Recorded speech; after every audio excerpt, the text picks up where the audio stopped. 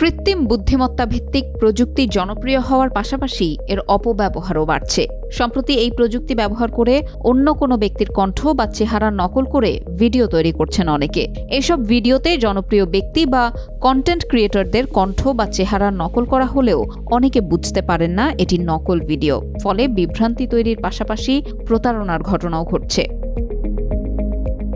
তাই নিজেদের ভিডিও প্ল্যাটফর্মে কণ্ঠ বা চেহারা নকল করে প্রকাশ করা ভিডিও ঠেকাতে নতুন দুটি এআই টুল তৈরি করেছে ইউটিউব টুলগুলো চালু হলে ইউটিউবের কোনো ভিডিওতে গোপনে কারও কণ্ঠ বা চেহারা নকল করে ব্যবহার করা হলে সেই ব্যক্তি স্বয়ংক্রিয়ভাবেই জানতে পারবেন। ইউটিউবের তথ্য মতে সিনথেটিক সিঙ্গিং আইডেন্টিফিকেশন টেকনোলজির নামের এআই টুলটি কাজে লাগিয়ে যে কোনো নির্মাতা বা শিল্পী স্বয়ংক্রিয়ভাবে ইউটিউবে প্রকাশিত কোনো ভিডিওতে তাদের কণ্ঠ নকল করা হয়েছে কিনা তা শনাক্ত করতে পারবেন। শনাক্ত করার পাশাপাশি ভিডিওটির বিষয়ে ইউটিউবের কাছে মেধাসত্ব লঙ্ঘনের অভিযোগও করতে পারবেন।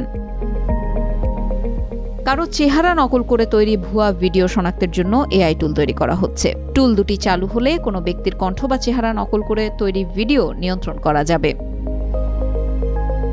প্রসঙ্গত, এআই দিয়ে তৈরি ভিডিও প্রকাশের জন্য ইউটিউবের আলাদা নীতিমালা রয়েছে।